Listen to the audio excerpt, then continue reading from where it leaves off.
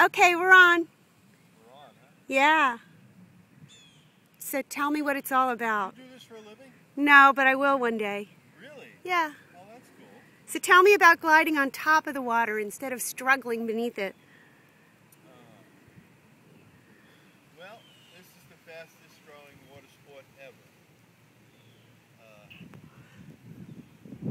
been around for a long time, and now it's just starting to catch on with people. People starting to understand the benefit of a full body workout, you know, Uh huh. and uh, all the health benefits that this brings to your body. Nice. It's kind of like the mind, body, spirit thing, and uh, that's the best thing about it. Awesome.